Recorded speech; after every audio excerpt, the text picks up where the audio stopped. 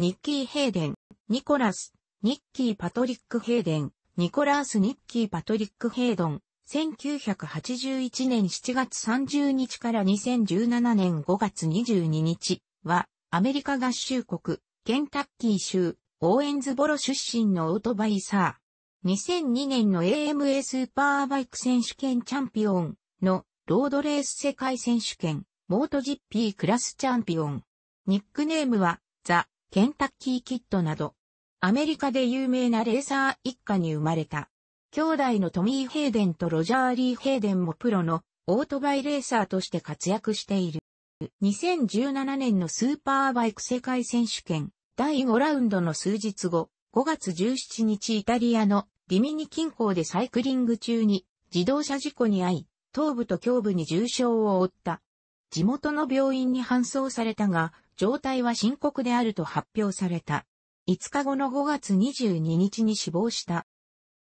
ヘイデンはケンタッキー州オーエンズボロで生まれた。3歳でバイクに乗り始め、5歳頃にはすでにレースに出場していた。7歳の時、グランドナショナルダートトラック選手権のアマチュアクラス、初めてのタイトルを獲得した。1997年には AMA ホライズンアワードのダートトラック部門賞、AMA ホライズンアワードダートトラックウィナー、最も優れたアマチュアレーサーに贈られるを受賞している。彼は当時の年長のレーサーたちに対して CMRA でロードレースを始めた。ヘイデンは足が地面につかなかったため、家族やクルーがバイクを直立状態に保つ必要があり、しばしばグリッド後方からレースをスタートしていた。その後高校在学中の17歳でホンダのファクトリーマシン、RV 界750でスーパーバイクレースに参戦する。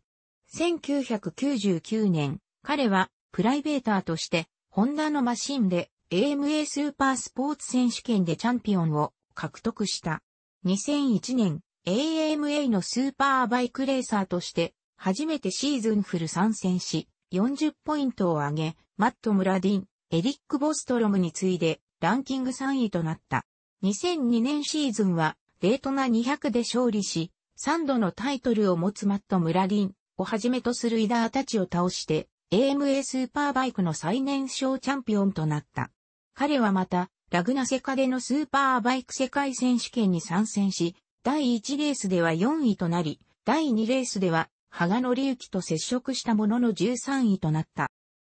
アメリカ人、ロードレースライダーは、ダートトラック出身者が多いが、ヘイデンもその一人である。1999年、ヘイデンは初めてグランドナショナル選手権、レース、ヘーガースタウンハーフマイルで優勝し、ルーキーオブザイヤーを獲得した。彼はまた、AMA アスリートオブザイヤーも獲得した。2000年には、スプリングフィールド、ショートトラックで優勝している。2002年は出場したダートトラックのレースはわずかであったが、スプリングフィールド、ショートトラックで2回、スプリングフィールド TT、ピオリア TT と計4回優勝した。スプリングフィールド TT では、ヘーデン3兄弟が表彰台を独占した1位、ニッキー、2位、トミー、3位、ロジャーリー。ピオリア TT での勝利は、ペナルティラインからスタートしたにもかからず、ピオリアで13回優勝している、クリス・カーを抑えての優勝となった。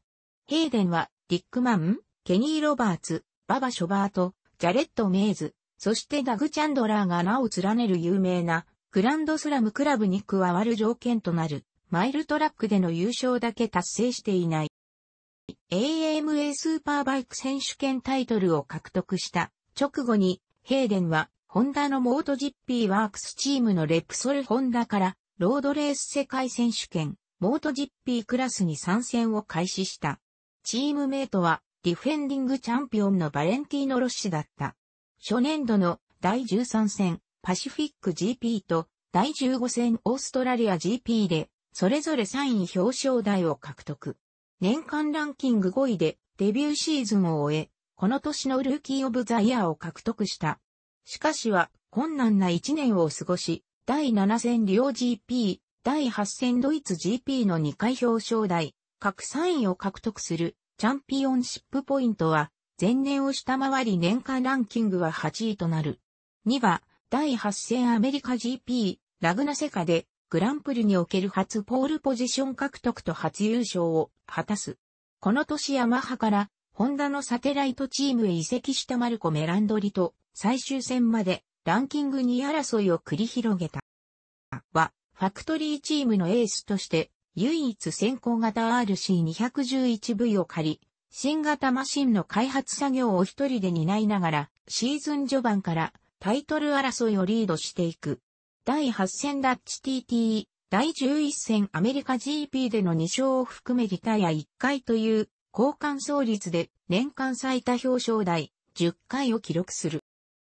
第16戦ポルトガル GP でヘーデンはチームメイトダニ・ペドロサの転倒に巻き込まれリタイア。このためチャンピオンシップ残り一戦で、バレンティーノ・ロッシにポイントを逆転され、ランキング首位から2位に転落する。しかし、続く最終戦バレンシア GP で、ロッシが転倒、3位でゴールし5ポイント差で再逆転したヘイデンがアメリカ人7人目となるロードレース世界選手権最高クラスチャンピオンに輝いた。ランキング2位が最終戦で逆転したのはのウェイン・レーニー以来14年ぶり。そして、バレンティーノ・ロッシに次ぐ二人目にして、最後の 990cc クラス王者となった。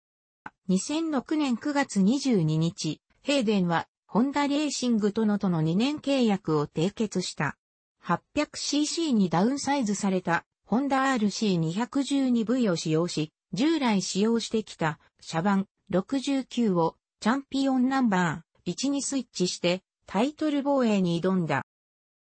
シーズンはマシンとタイヤのセッティングに苦しみ、開幕から低迷する厳しい一年となった。第4戦ルマンでクラッシュ、リタイア事故の時点でランキングは11位となる。しかしながら、第8戦ドニントン直前のテストでヘイデンは、伝送系のほとんどの切り替えを要求し、そこからタイムは改善されていった。ウェットコンディションのドニントンとドライコンディションの圧旋でのパフォーマンスはフォームのわずかな改善を示し、トレードマークのスライディングとテールアウトも見られるようになった。第9戦ダッチ TT、第10戦ドイツ GP、第12戦チェコ GP で表彰台、各3位、第14戦ポルトガル GP ではポールポジション1回を獲得し、結局ランキング8位でシーズンを終えた。この年は、兄弟との共著で、自伝、ザ・ヘイデンズ、ニッキー、トミー、アンド、ラジャー、From OWB to MotoGP を出版している。ケイシー・ストーナーが2007年のタイトルを獲得し、ゼッケン1を使用する権利を得たため、ヘイデンは、シーズンはマイナンバー69に戻ることとなった。は、昨年からの不調を引きずり、前半は表彰台もおぼつかない状況であった。第8戦、ドニントンパークで、ホンダはニューマチックバルブエンジンを導入し、ヘイデンだけがこれを使用した。続くアッセンでヘイデンはスタートから3位をキープしたが、伝送系システムに問題が発生し正確な燃料モニタリングができなくなり、最終コーナーで燃料切れとなった。コーリン・エドワーズがヘイデンを捉え3位に入り、ヘイデンは力のなくなったマシンで、ようやくフィニッシュラインを超えて4位となった。その後モトクロスでのクラッシュでかかとを負傷し、続く2戦を欠場する。この頃、チーム内の関係はすでに悪化していた。そして、ダニ・ペドロサがヘイデンと相談なしにタイヤを苦戦続きのミシランから圧倒的なブリヂストンに変えたことでもさらなる摩擦があった。ヘイデンは私は選択をするための状況にこれまで加えられなかった。彼らがブリヂストンタイヤを頼んで考えていただけで、私の時間を無駄にしていると言われたら、私は彼らが彼に与えたことに驚かない。それに、ミサノでは、ダニが持っていた、同じフォークも持っていなかった。私は彼らが、新しいタイヤを私に試させると思っていない。と語った。この一件は、ヘイデンとホンダが次のシーズンにたもとを分かつだろうという噂に重みを与えた。この噂は2008年9月12日に確認された。ヘイデンはドルナの記者会見で、それは秘密ではない。私の次のストップがどこにあるのか誰もがわかっている。しかし、公式には正しい方法でやり遂げようとしている。リリースが出るまでは、なぜなら、チームやスタッフがいるからだ。2008年中頃にはすでにファンやメディア、パドックから確信されていたが、後に、ヘイデンは記者会見でホンダを離れ、は、ドゥカティマールボロチームに加入し、ケイシー・ストーナーのチームイートになることを公表した。これは2008年9月15日に確認され、ホンダとの10年間の関係が終了した。からは、ドゥカティワークス、マルボロ・ドゥカティへ移籍したが、序盤からマシンのセッティングに苦しむことになり、終盤にリズムをつかんで3位1回の成績を残したが、結局シーズン13位にとどまった。は、マシンが安定したことにより、表彰台は3位1回だったものの、シングル順位フィニッシュが増加し、シリーズ7位に成績を伸ばした。は、8年ぶりにロッシをチームメイトに迎えた。前年と同様表彰台は3位1回、年間ランキングではロッシから7ポイント差の8位となった。ヘーデンとロッシはシーズンもドゥカティに止まった。ヘーデンは序盤10戦をいずれもポイント圏内でフィニッシュした。第11戦のインディアナポリスでヘーデンはサーキットでのコースの状況によく合っていると信じており、ドゥカティチームにとって最高のパフォーマンスを期待していたが、予選タイムを改善しようとし、ターン14でクラッシュ、脳震盪を起こし決勝には出走できなかった。この事故で右手を負傷し、次戦のチェコ GP も欠場することとなる。負傷からは完全に回復しなかったが、公式理学療法士、フレディデンテの支援のおかげで、ヘーデンはサンマリの GP に復帰し、7位となった。続くアラゴン GP では最終ターンで大きく膨らみコースの壁に接触、リタイアとなった。第16戦のマレーシアではシーズンベストの4位となり、最終戦バレンシアはクラッシュし、リタイア、ランキング9位でシーズンを終え、表彰台に上らない初めての年となった。2013年シーズン、ヘイデンのチームメイトは、テック3ヤマハからの移籍となったアンドレア・ドビツィオーゾであった。ドビツィオーゾはヤマハファクトリーに復帰したロッシの代わり取った。ヘイデンはドビツィオーゾの加入前、ロッシに代わってチームに加わることが最良の選択肢だったと述べていた。2013年10月17日、ヘイデンは5年間在籍したドゥカティを離れ、シーズンはアスパーレーシングチームと契約したことを発表した。チームメイトはアビンティア・ブルセンスから移籍した青山博和となった。両者は共にオープン仕様のホンダ RCV1000R をドライブする。第4戦ヘレスで手首を負傷し、第6戦のムジェルを欠場。その後も第10戦から13戦まで欠場し、最終的なランキングは16位でシーズンを終えた。シーズン、ヘイデンはアスパーレーシングチームに留まり、新しいオープン仕様のホンダ RC213V-RS に乗った。スーパーバイク世界選手権から転向したユージーン・ラバティがチームメイトとなった。2015年10月8日、日本 GP のレース前記者会見で、ヘイデンは2016年シーズンにスーパーバイク世界選手権に復帰すると発表した。ヘイデンは典型とレーシングにシルバン・ギュントーリに代わって加入し、ミシェル・ファンデル・マルクのチームメイトとなった。